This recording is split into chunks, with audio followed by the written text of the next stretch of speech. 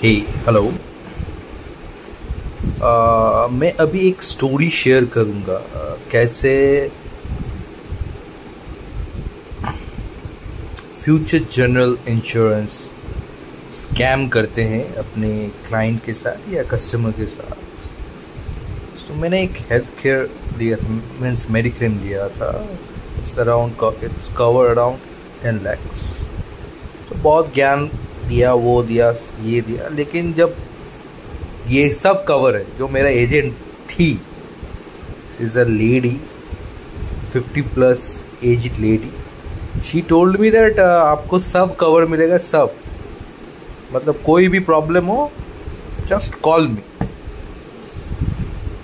और ठीक है तो लास्ट अप्रैल में मतलब इस अप्रैल में कुछ अचानक से मेरा थोड़ा सा हेल्थ इशू हुआ था मतलब सीवियर हेल्थ इशू मतलब इतना पेन हो लोअर एप्टोमेन में बहुत पेन हो रहा था। मैंने सोचा अपेंडिक्स हुआ है।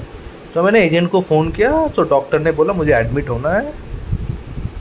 सो समथिंग सीरियस तो बोला, ठीक है, चले जाओ। मैं देख लूँगा। लूँगी रैदर मैंने बुक किया। मतलब वो टेन मतलब मैं वो लग्जरी प्राइवेट केबिन भी ले सकते इंक्लूडिंग मतलब वीआईपी सब कुछ मतलब हाई मेरा प्रीमियम भी बहुत हाई था। वन टाइम प्रीमियम मतलब ईयरली वो ई एम आई सिस्टम नहीं था मंथली सिस्टम एक बार भी देना पड़ेगा। तो मैंने दिया, सब कुछ हुआ। तब भी इंक्वायरी किया, सब कुछ। तब भी मुझे पता नहीं था ये चक्कर है। ऑपरेशन करने वाला, मेरा किडनी स्टोन डायग्नोज हुआ तो यूथरस में एक स्टोन था। It's very big around ten point ten point one six millimetre so इसलिए पेन हो रहा था तो डॉक्टर ने बोला ऑपरेट करना पड़ेगा।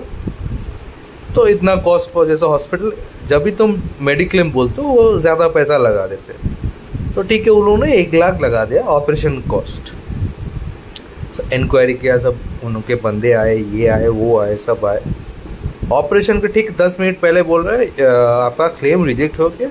क्योंकि ये कवर में नहीं है, आपको दो साल बाद इसको कवर मिलेगा। मैंने एजेंट को फ़ोन किया, भाई, कि, किस रीज़न से हुआ? बोले, नहीं पॉलिसी है, आपको पता नहीं, आपने पढ़ा नहीं। भाई 500-600 पेज का बुक कौन पढ़ता है? तब एजेंट का क्या मतलब था? तो मैं ऑनलाइन भी ले सकता हूँ। मैंने रिक्वेस्ट किया एटलीस्ट फिफ्टी परसेंट तो रीएम्बर्स करो तो हम लोग करेंटली पे करें। ऑपरेशन का तो पैसा दे दो, भाई, ये तो इमरजेंसी है।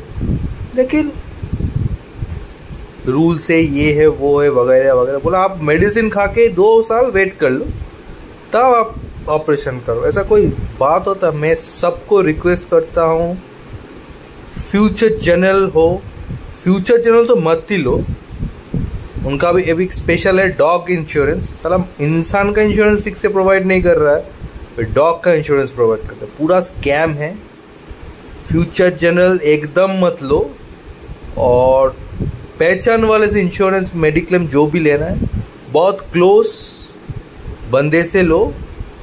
प्लस दो तीन इंश्योरेंस एजेंट मेडिक्लेम एजेंट जो भी है, उनसे पहले डिस्कस करो स्टडी करो। उसके बाद मेरे मेरे तरह गलती मत करो। गलती करोगे तो बहुत भुगना पड़ेगा। मतलब मैं अभी बहुत फंस गया हूँ। मैं अभी दो तीन साल उस हॉस्पिटल का पैसा लोन चुकाने में जाएगा मेरा। मैंने सोचा था, चलो ठीक है, सब हो गया। अब पूरा मैंने एक्सपेक्ट नहीं किया था, लेकिन मतलब ऑपरेशन कॉस्ट भी हो जाता। मिनिमम रीएम्बर्समेंट मिल जाता फिफ्टी परसेंट रीएम्बर्समेंट मिल जाता, तब भी ठीक था। लेकिन उन्होंने टोटली बोल दिया, भाई, नहीं होगा नहीं होगा, अभी आपका मर्ज़ी है। सब कंपनी पॉलिसी में होता है ना, अभी उन लोगों का सब एक ही टर्म से आपने नहीं पढ़ा। हाँ मेरा गलती तो है, लेकिन एक बात तो सच है, कौन पाँच सौ, मैं साला लाइफ में इतना पेजेस नहीं पढ़ा है, स्कूल में। अगर ये इंश्योरेंस पेपर इतना देर पढ़ो आपने बोला, ठीक है, आप मेरे एक रिलेटिव ने लिया। बोला हाँ बहुत अच्छे बहुत अच्छे कर देंगे सब कवर में होते हैं। उससे ज़्यादा पैसे का पैकेज लिया है। मतलब टेन लैक्स कवरेज प्लस फिर से मतलब मैं यूज़ नहीं करूँगा, उसका फोर्टी परसेंट थर्टी परसेंट या होगा होगा। लेकिन कोई तो क्लेम ऐसे ही नहीं करता है। और किसी का इच्छा भी नहीं होता हॉस्पिटल में बैठा रहे। इससे ये चल रहा है, वो चल रहा है किसी को मज़ा नहीं आता। कोई कोई करता है, मैं बोलता नहीं हूँ इंश्योरेंस कंपनी गलत है, लेकिन कुछ कुछ केसेस तो जेनविन होता है ना। ये तो उनको समझना चाहिए। आपने इंक्वायरी करके बंदे को भेजा इंस्पेक्शन करके गए, उनको सब रिपोर्ट्स देखा डॉक्यूमेंट्स देखा नर्स के साथ बात किया कि सब मेरे, सब